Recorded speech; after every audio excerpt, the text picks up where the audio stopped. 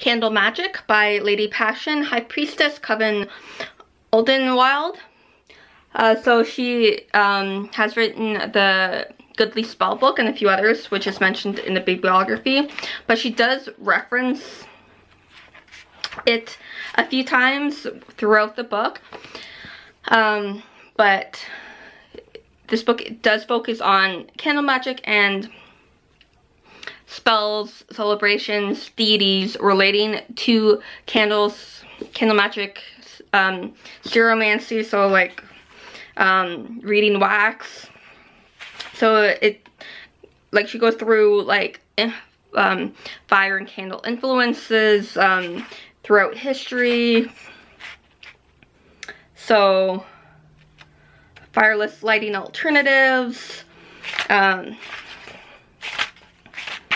so like how to read wax and like she will um like there's a list of the deities and like very kind of like um Arinna, uh Hitti sun goddess, um Atum, an Egyptian god of sunset. Uh so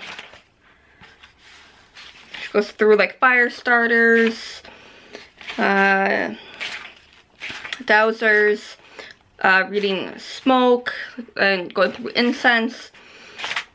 So making candle holders. Um, a lot of it's through, um, in this book are like different types of spells.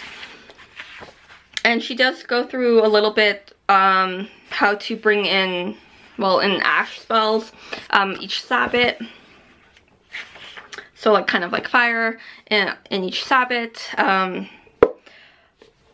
But yeah, like I, I think this is not the end all be all for like candle magic, but it's to me it's a good addition for those like myself who want to who have an interest in candles, bringing candles into their magic more. And this can be um, a good addition to start off with different types of fire and fire related deities or spells or like different alternatives for like that fire aspect. So yeah, candle magic, happy readings.